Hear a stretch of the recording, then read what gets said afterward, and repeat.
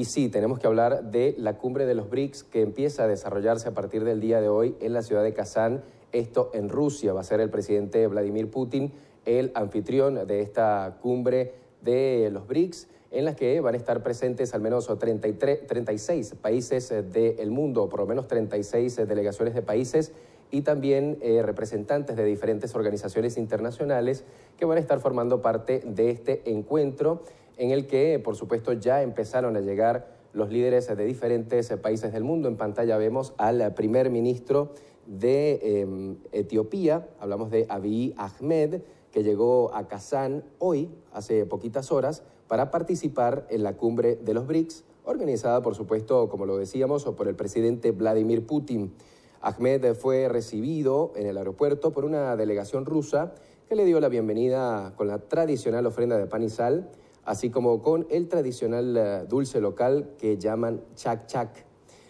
De esta manera, Rusia va a acoger a partir de hoy hasta el jueves de esta misma semana una cumbre del grupo en la ciudad de Kazán, así que van a estar desde el 22 hasta el 24 de octubre, como lo decíamos, en eh, una serie, en una ronda de reuniones en las que va a estar eh, presente, por supuesto, el, presidente de Rusia en conjunto con los diferentes líderes mundiales. El foro diplomático, que fue fundado hace 15 años por los principales mercados emergentes, hablamos de Brasil, de Rusia, de India y de China, se amplió también desde entonces para incluir recientemente este año a Sudáfrica, a Egipto, a Etiopía, que es, eh, ahora vemos en pantalla al primer ministro, también a Irán y a los Emiratos Árabes Unidos.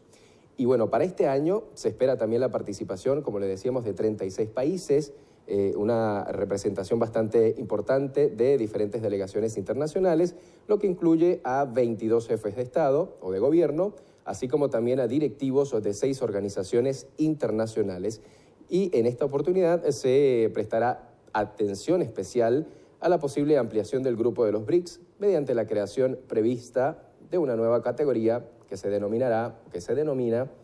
de Estados socios.